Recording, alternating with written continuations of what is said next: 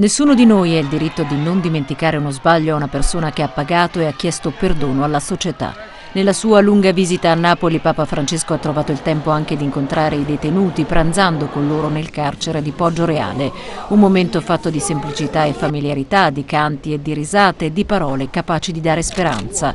Ai rappresentanti presenti della casa circondariale il pontefice ha chiesto di non perdere la fiducia nel futuro, ricordando che andare avanti, rialzarsi dopo una caduta è difficile ma non impossibile.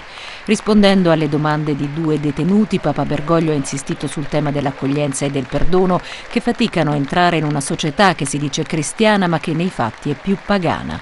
Dio perdona e dimentica e così dovrebbero fare anche gli uomini perché tutti sbagliamo e tutti abbiamo bisogno di comprensione di una seconda occasione. In fin dei conti ha ricordato Papa Francesco salutando e abbracciando ogni singola persona, il primo santo della Chiesa è stato un carcerato, un condannato a morte.